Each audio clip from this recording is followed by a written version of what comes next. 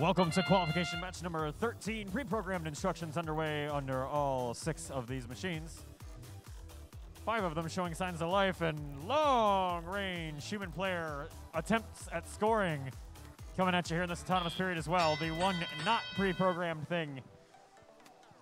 One robot from each side scoring a high goal to end off our autonomous period. Score is going to be 12 to 10 favoring blue as drivers now take the controls and already, once again, parts on the field. This time it looks like it's going to be a roller.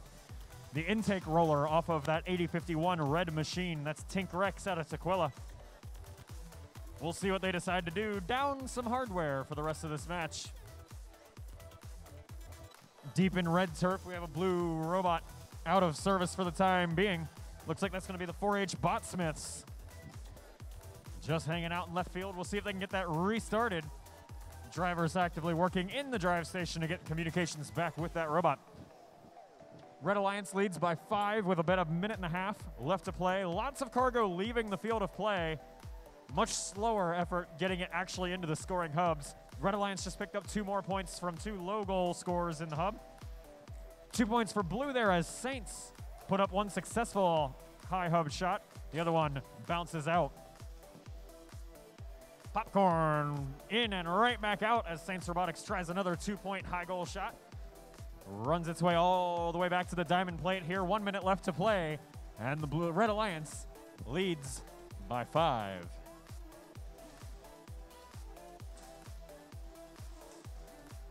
Two points successful there from Saints Robotics. High goal shot. It'll be followed up by a Red Alliance score of one from the Sonic Squirrels. That's that 29-30 machine making their way over to, the far left side of the field. We do now have comms back on that Blue Alliance robot, as alluded to earlier. That's the 4H Botsmiths out of right here in Snohomish.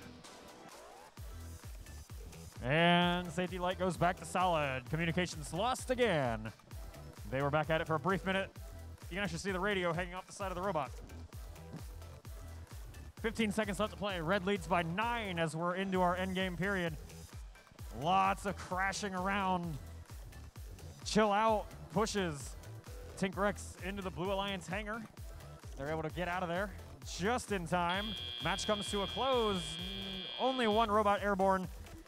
There's six points of hangar score coming at you for the Red Alliance, courtesy of the Sonic Squirrels. We'll get a final score for match 13 to you as soon as we have it.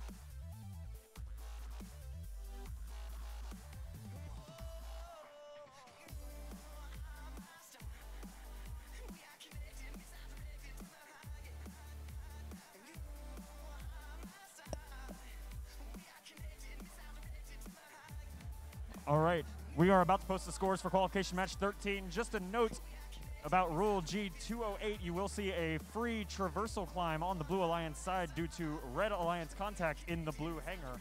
Again, that is match or Rule G08, 208. So, with that said, the Red Alliance still wins the match with a final score 39 red, 35 blue, and two rank points to each of those Red Alliance teams for winning the match.